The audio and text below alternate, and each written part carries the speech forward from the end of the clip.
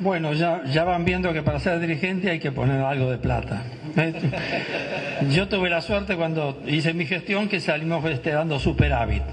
Pero a los pocos días apareció un, un pagaré que no, no lo habíamos, el tesorero no lo había tenido en cuenta y nos reunimos los que éramos de, la comisión saliente, juntamos el dinero y se lo llevamos a Valentín Suárez que había, que había asumido la presidencia.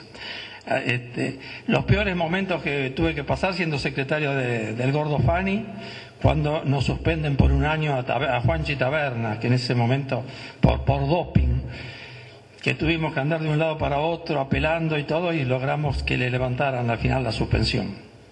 Y el peor momento que pasé como dirigente yo fue en la época de, de Carlos, que él estaba en Mar del Plata y yo tuve que firmar el contrato de venta de Luciano Sibeli a un club inglés que habíamos arreglado todas las condiciones, que era un millón y medio por la mitad del pase. Firmamos eso, fueron todos los papeles a Inglaterra y, eh, y allá volvieron diciendo que estaba prohibido en Inglaterra que eh, dos equipos tuvieran el mismo jugador, que había que vender el 100%. Entonces volvieron los dirigentes de, Inglaterra, hicimos un contradocumento donde decía que si ellos hacían uso de, del el otro 50% nos daban otro millón y medio de dólares y si lo vendían a otro club nos daban la mitad de todo lo que haya, hayan vendido. Pero eso sirvió para que la oposición en ese momento saliera a repartir volantes de que habíamos engañado a los socios, que habíamos firmado por el 100% y, di- di- y dicho que habíamos vendido nada más que la mitad. Pero son todas este, cosas que a veces hacen algunos dirigentes para llegar pensando que los méritos que se restan a los demás se suman a los propios. Y no es así. Hay que hacer siempre esfuerzos para poder llegar a ser dirigente. Nada más.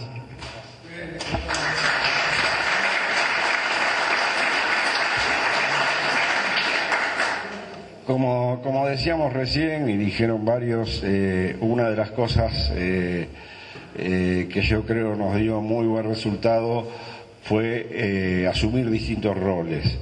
Eh, por supuesto, cuando se arma un, grupo dirigencial en un club de fútbol, la mayoría quiere estar en fútbol, lo más cerca posible de- de- del tema fútbol, de los jugadores, eh, pero está, hay un montón de áreas que cubrir y un montón de cosas que resolver, y entonces eh, eh, hay que dividirse, eh, separarse cada uno en su rol y confiar en lo que hacen los demás. Yo creo que tuve bastante suerte, o sea, el, sufrimiento del rol de, de Jorge y todos los que estuvieron con eh, el tema económico, sacar al club eh, de ese gran pozo. Yo siento que lo viví un poco más de afuera, no lo sufrí tanto como ellos. Arrancamos nosotros con un predio eh, recién comprado, que era un recreo de vacaciones prácticamente del hogar obrero, y lo que me pidió el equipo de trabajo fue que me ocupe un poco del predio, eh, planificarlo, cómo, cómo se podía crecer, y bueno, y eso era, para mí era fácil, o sea, era lo que yo realmente sabía hacer, hasta, bueno, me, alquilé un avión para sacar fotos de arriba, no, no, era, era imposible, era un, un gran bosque, eh, encontrar en qué lugares se podían hacer más canchas, eh, dónde se podía crecer. Eh, empecé con todo el tema vestuarios, después tuvimos la ayuda de que el famoso arroyo que partía el predio en dos eh, se canalizó, se, eh, se entubó, mejor dicho, y entonces eh, todo se unificó, pudimos planificar mejor cómo crecer en el predio. Y bueno, yo soñaba, dibujaba y, después ellos conseguían cómo llevar las cosas adelante. Una vez en un asado, este prestigioso socio que se nombró dijo eh, que le daba mucha bronca que en, en la dirigencia actual, en esa dirigencia no hubiera nadie que pudiera soñar en grande y pensar en que Banfield pueda tener un gran estadio. Eh, nos quedamos con eso, yo dije, este tipo está loco, pero me puse a dibujar. Eh, yo creo que antes de empezar la obra, yo un año antes tenía un proyecto para la nueva platea. Y un día el presidente me dijo, bueno, es el momento. pero vamos a hacerlo de a poco, porque no sabemos si podemos hacer todo. Entonces, lo difícil era eh, hacer una obra en etapas sin perder la localía. Perdimos un solo partido de la localía con Boca, que el coprocede, unas chapas que habíamos puesto para dividir, eh, no les gustó y dijo no, no se juega. Pero bueno, cumplimos las etapas, cumplimos el sueño, eh, ni se inauguró la cancha, ya tiene más de 10 años, ni se festejaron los 10 años de la cancha terminada, pero las obras quedan. Y dentro de eso de separarse los roles, otro tema era los deportes amateur. Eh, también charlado en comisión, me dicen que me, como estaba, estaba trabajando en el predio, que me ocupe de los deportes amateur. Los deportes amateur los encontramos eh, muy chiquitos, o sea, con muy poca participación, todos dependiendo de la voluntad de, subcomisiones, eh, de financiados, con problemas. Eh, Botín tenía gimnasia deportiva abajo de la tribuna. y bueno, empezamos a planificar cómo crecer con los deportes porque primero para poder mantener el premio, el predio lo alquilábamos, lo alquilábamos a cualquiera, el día de la primavera era un día para decir, bueno, por ahí juntamos unos pesos y nos salvamos y estábamos todos rezando que no llueva. Entonces nos dimos cuenta de que el predio, eh, la, solución que tenía era tener deportistas y llenarlo con gente de Banfield. Eh, se hizo la cancha de hockey con, ayuda de un, dirigente que realmente consiguió los sponsors y consiguió, porque después costó pagarla, eh, pero hockey teníamos muy pocas jugadoras, una subcomisión chiquita, eh, entonces bueno, empezamos eh, a decir, bueno, hay que poner cabezas importantes. Yo creo que en los deportes amateur yo personalmente me pareció que la solución fue, era crear un departamento de deportes amateur, eso se hizo, y, copié lo que hacía la gente de la comisión directiva en términos generales para el club. Entonces, si, si pudimos tener tantos jugadores, porque eh, la comisión de fútbol decidió poner a Marzolini como chapa para traer y formar jugadores, yo dije, yo tengo que hacer lo mismo. Entonces traje a Ariel Holland estábamos en la Z y con Ariel Holland llegamos a estar en la A, en hockey. En el predio de Banfield se hizo un partido internacional entre las Leonas, Australia y Holanda, por lo que habíamos crecido como club, la cancha que teníamos, que era una de las pocas canchas de agua, y lo que habíamos crecido como club deportivamente en hockey. Bueno, lo mismo, lo mismo se hizo poner muy buenos profesores en gimnasia deportiva, eh, trajimos uno de los mejores profesores que en ese momento del CENAR, eh, eh, lo mismo en volei, y, bueno, y reventamos deportivamente, no teníamos dónde meter a los deportistas, no nos alcanzaban los lugares, se, se empezó a usar muchísimo el predio, encontramos un problema de que se acercaba tanta gente que eh, no sabían eh, los chicos dónde ubicarse. Inventamos la escuela de, orientación deportiva, eh, la subvencionamos, los chicos venían, pasaban todo el día sábado, de mañana a la, noche, a la tardecita, y los hacíamos circular por tenis, por hockey, por fútbol, por vóley, eh, para ver qué aptitudes tenían, a dónde se podían integrar. Y se empezaron a integrar un montón de chicos, no de Banfield solo, sino de la zona del predio, eh, muchos chicos de Monte Grande que no tenían clubes a donde acercarse, y se creció muchísimo. Eh, se acabó un poco también el tema de, de depender de la voluntad, porque cuando vos dependés de la voluntad nada más, eh, de repente un padre que, llevaba chicos ese día se enfermó, entonces los chicos no jugaban y lo hicimos mucho más profesional. Ningún dirigente, ninguna subcomisión eh, cobraba la cuota de la actividad de volei o cobraba todo, pasó a la administración del club. ningún profesor cobraba porque la plata que juntaba la subcomisión de volei o de hockey o lo que fuera, les alcanzaba, todos los profesores cobraban en la administración del club. Eso eh, también nos favoreció para tener un gran control de eh, cincuenta y pico, sesenta profesores, que eh, una vez nos dimos cuenta que estaba el 11-12, que le descontaba del fútbol, de, la televisión, de la plata de la televisión, a todos los clubes por igual las cargas sociales. Entonces dijimos, ¿por qué vamos a tener gente en negro? Si total las cargas sociales no las pagamos, las paga la AFA. Y pusimos toda la gente en blanco.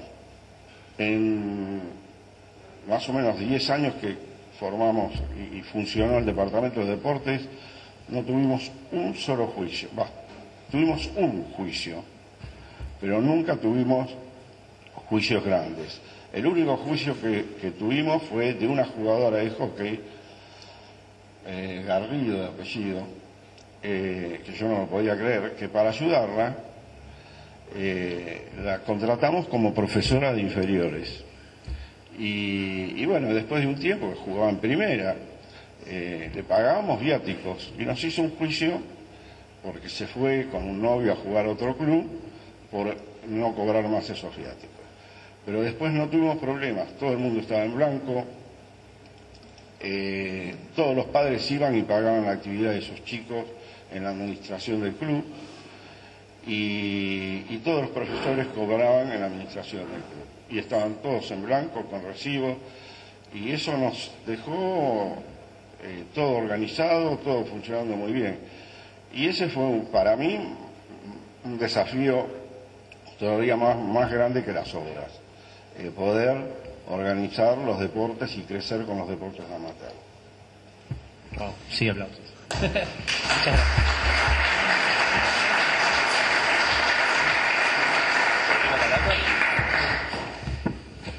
Eh, bueno, vamos a cambiar un poco de emociones, ¿sí? Y queremos seguir aprendiendo y que nos cuenten alguna experiencia positiva, algo que les haya pasado a ustedes o al equipo donde ustedes trabajaban, que los haya sentido orgullosos, que se les llenó el corazón, eh, que tenga que ver con toda la historia que ustedes están contando. ¿Sí? ¿Que, ¿Empezamos a este lado? Sí. Así te dejamos primero a vos, si no siempre Yo no, no, paro de, experiencias positivas, no paro nunca. Eh, bueno, yo qué sé, yo creo lo, que no voy a olvidar en la vida, eh, hacía muy poquito que se me había ido mi esposa y por ser secretario y el protocolo, me tocó la suerte de, poder entrar con Carlos y con Néstor a, la cancha de Boca. Y bueno, yo estaba realmente bajoneado, ellos me, estaban apoyando muchísimo para que no me pinche del todo. Y, y esa experiencia es, bueno, salimos como agachaditos, y, la 12 nos, nos tiraba gargajo y decía acá no se festeja y, bueno, eso es imborrable, no, no, es algo que, que no me voy a olvidar en la vida. Y, lo segundo fue, eh, podría contar miles, pero eh, después de, ya unos cuantos años, mis nietos, uno de mis nietos, viene y, me cuenta que el colegio lo llevó como salida a visitar la, cancha de Banfield. Y dice, abuelo, me dice, eh, no sabes, no me podían creer mis compañeros que vos habías hecho la cancha. Así que bueno, eso es algo que, que te queda. Haber dejado cosas en el club, encontrarme con ex, con empleados y ex empleados, ex deportistas del club y, que te abracen y, que te recuerden y muchos de los que me reencontré hace un rato eh, que te den un abrazo, bueno, eh, es una, yo, para mí fue una gran satisfacción ser dirigente de Banfield, esa es la realidad. Bueno, yo no me voy a reiterar porque sí, la mayor satisfacción es haber entrado en la cancha de Boca y tener la copa en la mano, ¿no? otra satisfacción grande que puedo recordar es que Garrafa Sánchez, cuando terminó un partido de la Copa, me hizo seña para regalarme la camiseta sudada que él tenía puesta. Porque yo le había hecho una escritura, le había aconsejado mucho por un, por un chale que compró en la Ferrer. Decía, Garrafa, no compres en la Ferrer, compré en Banfield. Dice, no, no, yo soy de la Ferrer porque vendía garrafas en la Ferrer y por eso me, me dicen ese nombre. Y la compró allá y, le hice la escritura y quedó agradecido y me dijo, si, si juego la copa le regalo la camiseta. Esa es una gran satisfacción. Y otra también haber estado en la inauguración de la escuela del club, del club Anfe, que era también un, una, un sueño que teníamos y se pudo cumplir. Bueno, seguramente eh, vamos a recordar cosas lindas, también habremos cometido muchos errores, pero una de las satisfacciones y creo que fue muy importante la decisión de haber tomado cuando Silvio Marzolini, que parecía una figura inalcanzable para Banfield, haya tomado el manejo de las divisiones inferiores. Creo que ahí para Banfield fue el crecimiento futuro que hasta hoy todavía salen jugadores de, épocas este, de aquellas este, de aquella, de aquellos momentos que fue eh, cuando Auxilio se incorporó eh, el año 1999 lo cual no fue un problema económico importante porque realmente se manejó muy bien este, y, y bueno este, creo que fue un acierto enorme. Otro acierto y suerte que tuvimos fue la del plantel del que formó Cachín Blanco, que después fue campeón con Mané Ponce, eh, que, yo creo que ese plantel, no sé si hoy se repite en algún otro eh, club o en otro plantel de cualquier club en el fútbol argentino.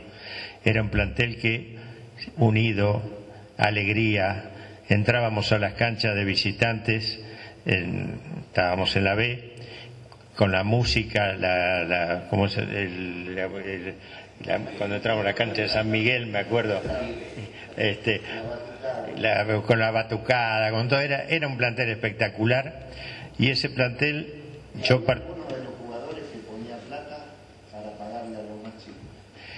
Este, ese plantel yo creo que fue eh, los cimientos para el crecimiento de Banfield de los 10 años siguientes. Este, fue impresionante lo que fue ese plantel, lo que dice eh, Pascual. Hubo un jugador que en una oportunidad que estábamos eh, ya en las, finales, digamos, este, para poder, poder ascender, y debíamos, no sé, dos meses, supongamos más o menos, y no había plata. El presupuesto que tenía Banfield ese año era de 56, 57 mil pesos. Todos los jueves se hacía un asado en lo que es el quincho de tenis y juntábamos los 18 mil pesos o 14 mil, 15 mil, lo que, lo que juntáramos. Pero había semanas que no lo podíamos juntar. Entonces los jugadores más grandes le dábamos cheques a los 15 días, para 30 días, que podían aguantar, no así a los chicos. Y este, ellos lo, recibían, y, pero ¿qué pasaba? El cheque llegaba después la fecha.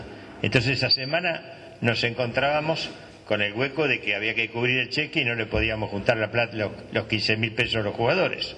Entonces, un jugador en una oportunidad, en una semana, me dice, me llama a las doce y media de la noche a mi casa para decirme que él nos iba a prestar 15 mil pesos porque teníamos que salir campeón y que el plantel tenía que estar bien.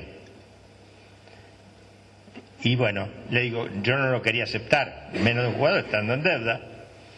Y al día siguiente llego al predio, porque yo iba todos, todos los días al predio, a ver los entrenamientos, estar con los jugadores en el vestuario, todo Llego al predio y el utilero de Banfield me dice, el gato Lip dejó esta caja para que le cambie, como yo tenía casa de deportes en esos momentos, que le cambie por un número más este botín. Cuando abro la caja había 15 mil dólares adentro.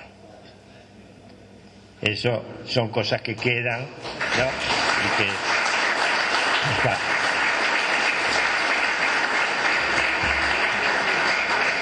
Así que, como eso es esa confianza que ese, ese plantel tenía para con nosotros los dirigentes, íbamos a jugar al truco a la noche, nos quedábamos allá con, con eh, bueno, jugaba con Garrafa, con Sanguinetti, era un plantel espectacular que yo creo que fue lo que más he disfrutado. Después, bueno, lo del campeonato es una cosa aparte de todo, ¿no? Yo eso lo saco de contexto. Pero eh, ese plantel, sin ninguna duda, y no tengan ninguna duda, marcó marcó el crecimiento de Banfield. Fueron los cimientos después del futuro crecimiento.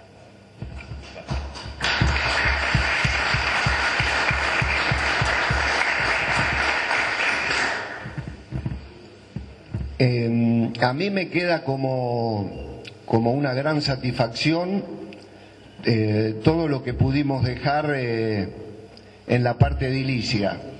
Esta platea, esta gran platea, esa gran platea, se modificó y se ayornó la sede social.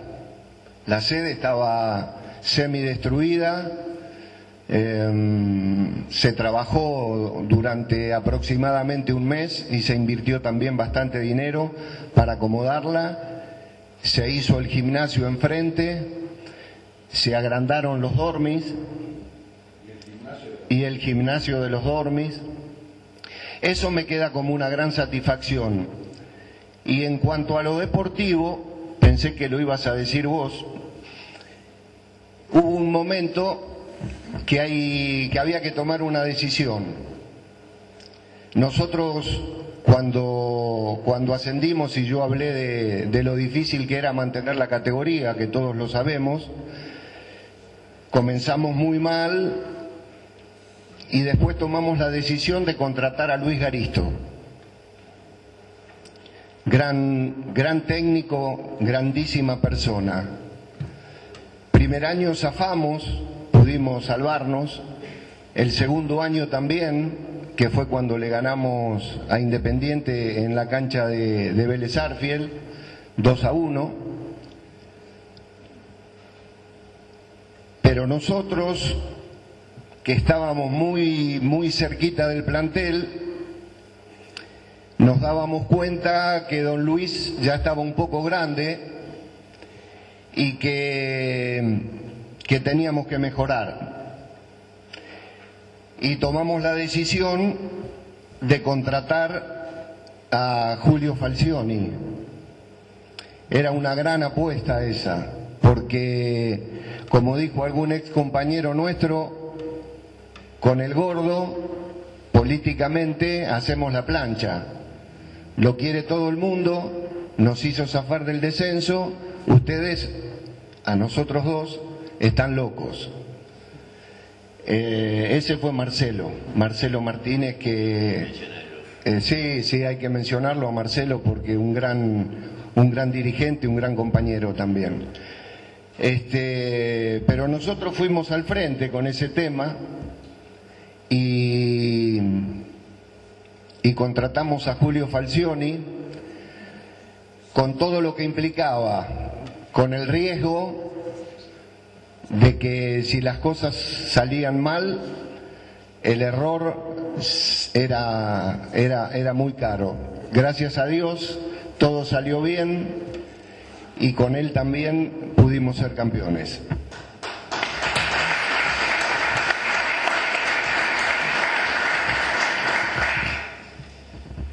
Bueno, por supuesto que las satisfacciones de lo que contaba Roberto, lo que contaba Pascual a nivel edilicio, es una, pero siempre nosotros estamos y nos pica más la pelotita. Yo verdaderamente, como dijo Carlos, uno de los mejores momentos de mi vida fue el plantel ese de Sanguinetti, Luchetti, San Martín. Yo cada 15 días lo tenía en mi casa comiendo un asado. Debe haber faltado 30 amadores en mi casa que hasta el día de hoy Luquetti y San Martín y San Martín no me quieren decir dónde están, pero si se lo llevaron, se lo llevaron. O cuando íbamos a Tandil, a la pretemporada dejaba la campera y venía Garrafa y se robaba la llave de mi, de mi camioneta para irse al casino. Este, yo sabía que lo hacía, pero mientras volvieran a la hora adecuada, no se olviden que los jugadores son chicos, así que hay que convivir con ellos. Y la, la, otra gran satisfacción fue cuando después de dos años de las elecciones le pude decir a Pascual si quería venir a formar parte de la comisión directiva y Pascual me dijo, pero mirá que yo voy para ser campeón. Y sí, a eso venís y al año salimos campeones. Esa es una gran, satisfacción. Bueno, eh, la primera satisfacción fue eh, haber llevado al club a que estuviera nuevamente el vóley en, la sede, ya que en el 98 el, el femenino no existía, el masculino se había venido muy abajo y llevamos el vóley femenino del Gascón. Mi hija fue capitana, ya era en el Gascón, así que fue capitana del club. Y el vóley desde el 98 de, empezó en la tercera división, llegó a jugar en división de honor. Lo mismo pasó con los varones y el impacto del vóley en el club Anfield fue tan grande que todos los clubes chicos que estaban alrededor dejaron de tener vóley. Hasta el Brown de Adrogué, que tenía volei y que antes al principio jugaba contra nosotros, también lo dejaron. Desapareció el Loma Social, desaparecieron todos los clubes que había alrededor con el volei y todos venían a Banfield. Hoy, lamentablemente, hemos tenido en el club un competidor que no es fiel a la razón de los clubes, que todos hemos hecho algo. La municipalidad instrumentó el vóley y entonces todos los clubes dejaron de tener la importancia que tenían antes en el vóley, pues no pueden competir contra la municipalidad. Es un título. Eh, otra satisfacción fue haber creado, así como dice Roberto, haber puesto a los profesores en blanco, no es en blanco, sino de que estuvieran con recibos de sueldo en relación de dependencia, sino que antes estaban con un contrato fue que pudiéramos abrir las cuentas sueldos. Es decir, cuando el Banco Central rehabilitó al club en el año 2005, pudimos abrir la cuenta en el Banco Credit Corp, que era el banco que a su vez la AFA daba los cheques, pues los cheques de la AFA siempre fueron del Banco Credit Corp, eso nos permitió que por ser cheques del mismo banco, también nos compraran, nos negociaran los cheques a partir de ese momento y no tener que estar vendiendo los cheques en financieras como habíamos tenido que hacer desde el año 98, este, que era entre que los cheques de AFA se pagaban a 90 y 120 días, eran la fecha de los cheques, entonces siempre perdían los clubes, y sobre todo los clubes chicos. Otro de los motivos fue y para mí es muy, muy personal, es haber recuperado un muchacho que lo hicimos, socio, eh, lo hicimos empleado del club, que es Fabián Duarte. Yo nunca me olvidaba de en el año 93, cuando fuimos a Córdoba a jugar contra Colón la final, verlo trepado en las ventanillas de las volterías, mambiado, dado vuelta y haber conseguido después que ese muchacho a través del vóley, porque se transformó en un hincha incondicional del equipo de vóley de las chicas, y era el guardaespaldas. Hay que jugar en el club, salir a las once y media, doce de la noche, chicas de 17, 18, 19, 20 años, es decir, es el día de hoy que me encuentro con él y este, me agradece siempre, hoy tiene chicos de veintipico de años, ¿no? Este, ese fue otro motivo también satisfactorio para mí. Y después, cuando él contó lo del predio, que realmente se necesitaba mucha plata y no la teníamos porque la poca plata que había era para el fútbol profesional, no había plata ni para ni para los eh, deportes amateur ni para el predio. Pero de a poco, entre la entrada del estacionamiento de los fines de semana de la gente que iba porque jugaba eh, hockey y todo eso, empezamos a programar con Mancilla, que era el gerente del predio, la construcción de la pared de subería. esa pared tiene mil y pico de metros. De a poco íbamos construyendo de a cinco metros, de a siete metros, los que podíamos construir. Esa es otra satisfacción grande que la conseguimos también con el dueño del viejo aljibe, que fue una época que aportó demasiado para el club y sobre todo cuando los proveedores no nos fiaban y él, por tener el restaurante allá en Guillón, este, nos trasladó los proveedores que él tenía para poder nosotros comprarles la comida a los chicos del predio. ¿Eh?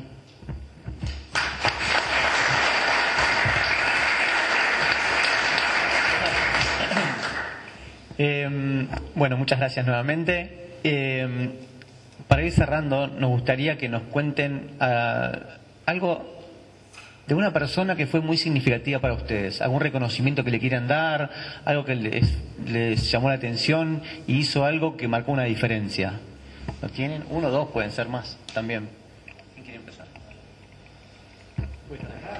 No, yo ya lo, nombré, a mí me, inicia en la dirigencia eh, el suegro de Raúl eh, y bueno, yo primero dije dónde me metió y después con el tiempo siempre hay alguien que, que te marca por cómo te pide las cosas y, Pirulo realmente a mí me, me entusiasmó, me dijo te necesitamos y bueno, y después eh, en lo personal eh, tengo que reconocer eh, mi admiración eh, hacia el presidente. Carlos es un amigo que yo tenía de, de muchos años, pero que eh, después de 12 años de compartir comisión con él, eh, me dio toda la confianza del mundo.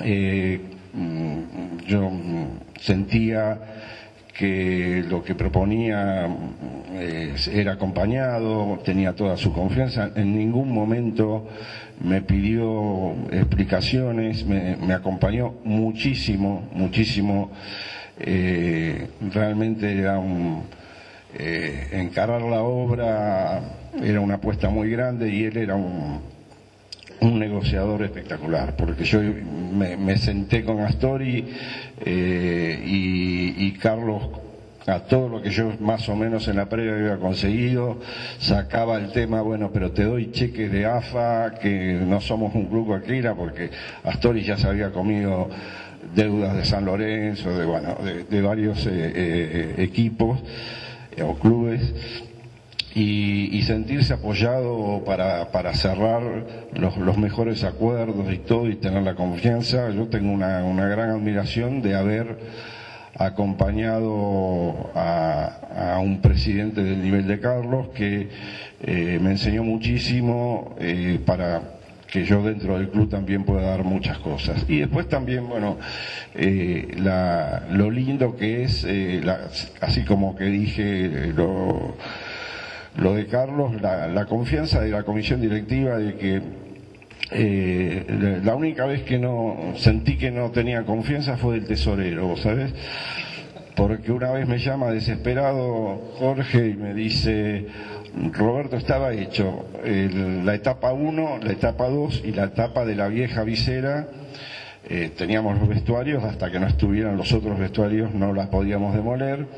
Me llama Jorge y me dice, Roberto, tenemos un problema gravísimo, me, me subí a la platea dos, llamémosle, y, y puse el ojo y no se junta con la 1. Cuando hagas la del medio no se van a encontrar. Le digo, Jorge, usamos Teodolito. Sí, no, pero estoy convencido, estoy convencido. y bueno, eh, por las dudas fui de nuevo con el Teodolito, a ver si tiene más ojos que yo. pero no, en términos generales eh, eh, se funcionó en equipo. eh, como dijo Raúl, siempre hay eh, algún roce, diferencias de ideas, pero con mucho respeto.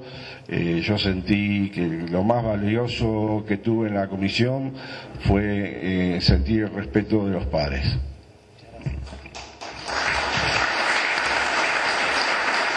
Bueno, yo como soy uno de los más viejos, tengo anécdotas y, y- reconocimiento a gente desde aquel entonces. Uno que me quedó muy grabado es este, don Lencho Sola, cómo trataba a los jugadores. Me recuerdo que estaba reunido almorzando el plantel del 51 y al granero le gustaba mucho el vino, pero no, ahí le estaba prohibido tomar. Y Lencho andaba con una copa de, vino en la mano, atrás de una columna y le hacía señas. iba a granero y ¡plum! y volvía a sentarse. Este, y otra persona que recuerdo también así como muy buena persona fue Adolfo Pedernera, que estuvo de técnico en Banfield y me, dejó, era un filósofo del estaño. Él a lo mejor no tendría grandes conocimientos técnicos, pero como sabía. Y, eh, un día vamos a jugar ese gran partido que jugamos en el 76 en el Monumental. Estaba Pitarch, que era un gran jugador, pero era un poquito que no ponía mucho la pierna, era un poquitito miedoso. Y, y Pedernero los iba palmeando a todos al salir, y cuando llegó él, en vez de palmearlo, le toca la cola y hace así como diciendo, ya estás, antes de salir ya estás asustado. Y ese día fue extraordinario la, actuación de Pitar, ganamos 3 a 1 en el Monumental. Y eh, así también de, don Valentín Suárez y del Gordo Fani, y ni hablar de, Portel que me sacó del halcón de los recuerdos y me hizo volver al club.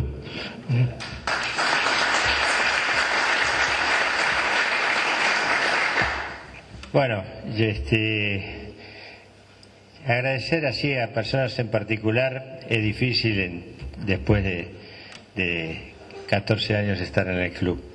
Eh, sí, creo que supimos elegir la gente que nos acompañara en todo ese trayecto. Este, o sea, toda la gente que pasó por las distintas comisiones y todo esto. Yo, eh, cuando lo invité a que nos acompañara, a Néstor que tenía, yo estaba personalmente muy agradecido por su función eh, en el concurso de acreedores cuando, como dijo Jorge, eh, no quedaba otra. Todos los acreedores, que eran 134, yo creo que personalmente habré ido a ver a 108 o 110 de los 134 para arreglar y con todos los arreglos que hicimos en esos 130 eh, y pico, porque creo que dos o tres solamente no aceptaron la, este, la propuesta, se hicieron todos los acuerdos en la escribanía del Néstor Villar. Tanto él como su hija Valeria estaban a disposición del club continuamente y jamás cobraron un honorario. O sea, entonces, es una de las personas a las que tengo que agradecer. Después hay mucha gente que ha pasado, pero como experiencia, al margen de lo personal de cada uno puede pensar, tuve la suerte de acompañar durante mucho tiempo a la persona que creo que es la que más supo de fútbol en la historia, que fue a Julio Grondona durante ocho asambleas en la de FIFA y, aprender todo lo que él, tratar de aprender algo de lo que él sabía. Y la alegría que tuvo cuando Banfield salió campeón, porque él estaba en eh, Qatar, que jugaba una final Estudiantes de La Plata, eh, y estaba, estaba ya invitado para ir, y me llama al, a los, media hora, 40 minutos, que Banfield había salido campeón para felicitar. Y estaba él haciendo fuerza por Banfield allá en, Qatar. Realmente esas cosas son las satisfacciones que uno tiene y bueno, y la gran cantidad de amigos que por Banfield, eh, por ahí nos hemos conocido o hemos profundizado nuestra amistad. ¿eh?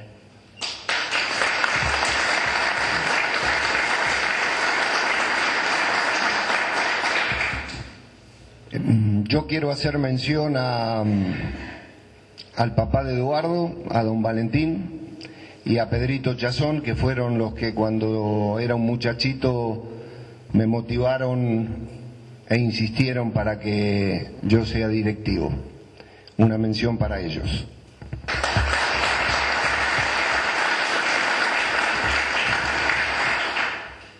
Bueno, yo no, no dejo de pasar la palabra de Carlos ni la de Pascual hay dirigentes como Sergio Batel, que, que fue el que nos motivó a meternos en el ámbito, en la vida de Banfield.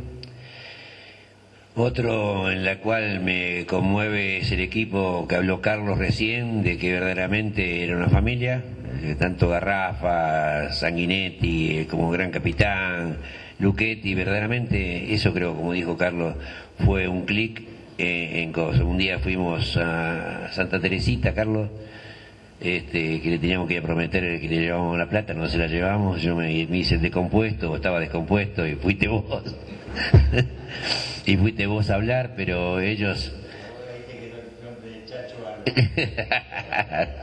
sí. Así que, eh, y la otra es el reconocimiento a todos los pares que estuvieron conmigo en la comisión directiva. Eso es todo.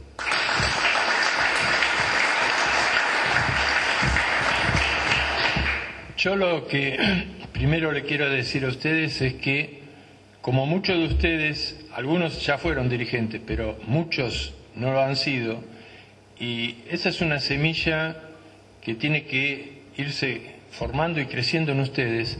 Yo lo, que le comparto es, aquella comisión del 98 había gente que era de agrupaciones y gente que era independiente. Yo era independiente y fui los nueve años independiente y ninguna de las agrupaciones que formaba parte del ABC y después con el tradicionalismo me impuso alguna obligación en esos nueve años de que yo tenía que ser miembro de alguna agrupación.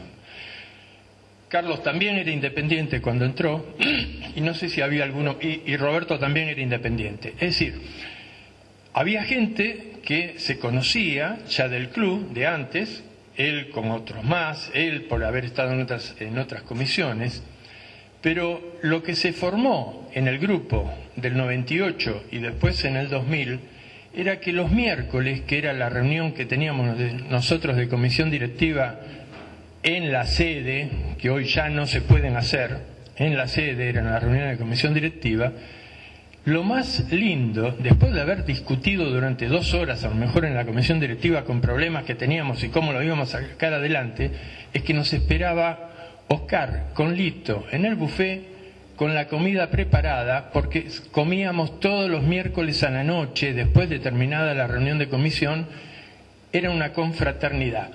Una de las razones por las cuales uno no faltaba, por lo menos yo, los miércoles a la reunión de comisión directiva, porque en realidad estaba todos los días reunido con, con todos los problemas que había, pero una porque era la satisfacción a los demás miembros que no estaban en la, en, la, en la, cosa chica de todos los días, que era poderles informar de qué era lo que estaba pasando en el club. Esa era la misión de la comisión directiva.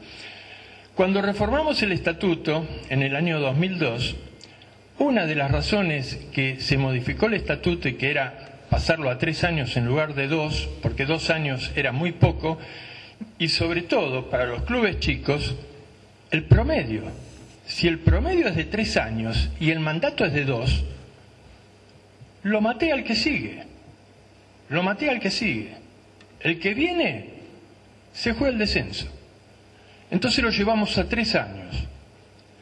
Y el otro motivo fue, que esa fue una idea mía que la aprobaron y después la lamenté, fue incorporar las minorías con el 25% de la elección. Así fue que la agrupación banfileña en el 2005 entró este, por el 25% como minoría, que para mí era un logro, porque así era en Independiente, en la época vieja de Independiente, este, y eran respetados. No son asamblea de representantes, sino que está la mayoría y la minoría. Muchas veces en las reuniones de comisión directiva al principio, entre el 2005 y el 2007, cuando yo me fui, yo compartía muchas de las ideas que tenían los de la minoría, aún en contra, porque yo no estaba de acuerdo con el, lo que llaman el espíritu de cuerpo. Si corresponde una cosa, yo estaba de acuerdo, independientemente que la que lo estuviera proponiendo fuera la minoría.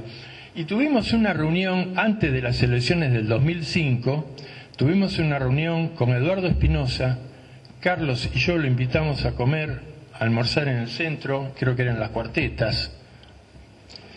Este, y en ese momento, porque lo que estábamos buscando era que poder continuar como habíamos hecho con el tradicionalismo.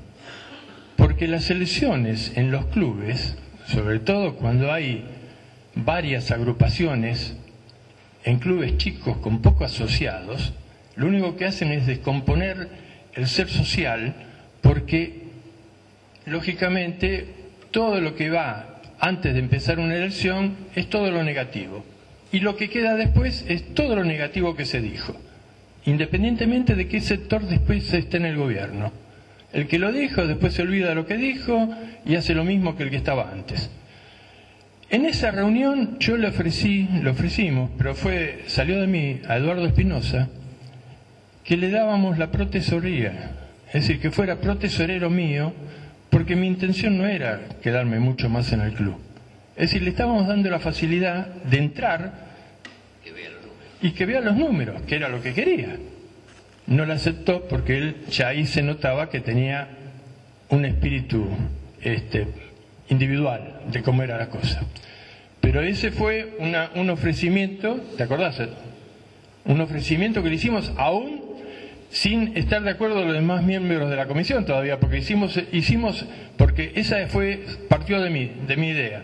Lo mismo que lo que les comento de la minoría que hoy sigue estando y lamentablemente no se hace uso.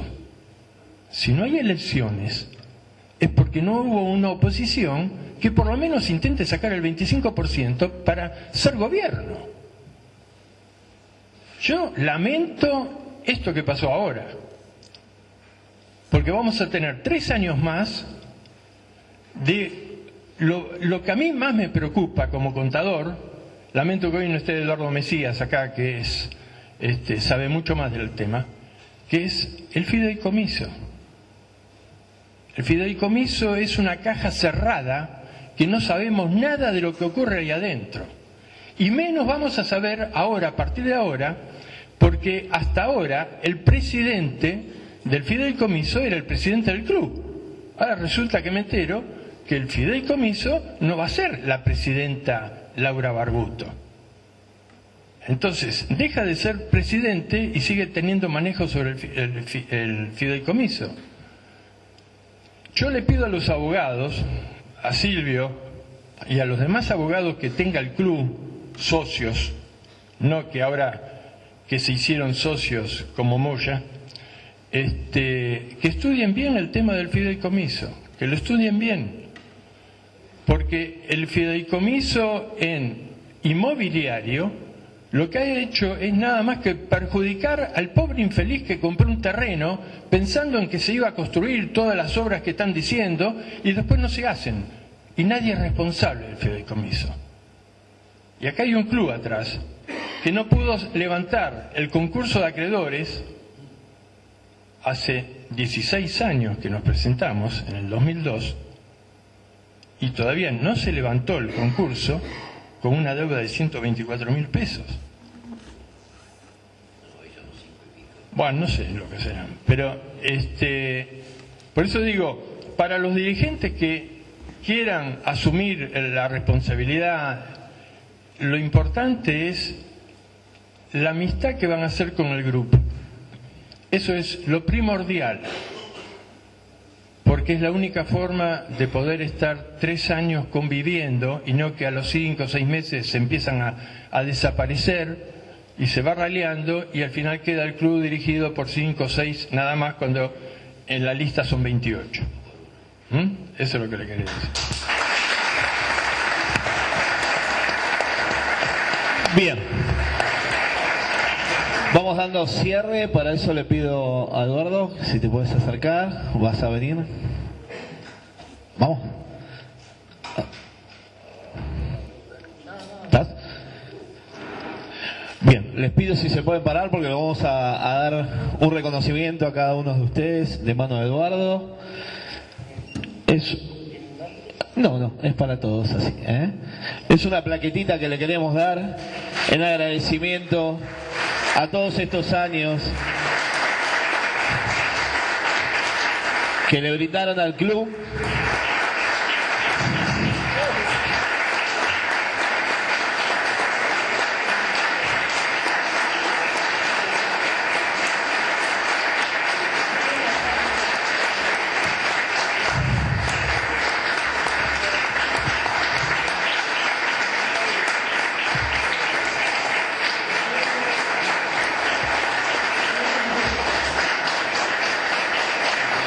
de esta forma creemos que ha sido el mejor cierre que le podíamos haber dado a esta escuela de dirigentes, a este primer módulo de escuela de dirigentes, con personas que han dado todo por el club, ya lo vieron, muchos años de su vida, algunos muchísimos años de su vida para el club, así que para nosotros es un orgullo que estamos tratando de empezar en esto, eh, volcarnos a esto después de haberlos escuchado y gracias por todo, no me sale otra cosa como hincha de Banfield que agradecerles todos estos años que le han dado y ojalá este, algunos que los que estamos acá podamos darle por lo menos un poquito de lo que ustedes le han dado al club. ¿eh? Muchas gracias y fuerte el aplauso para ellos, gracias a todos por estar y bueno.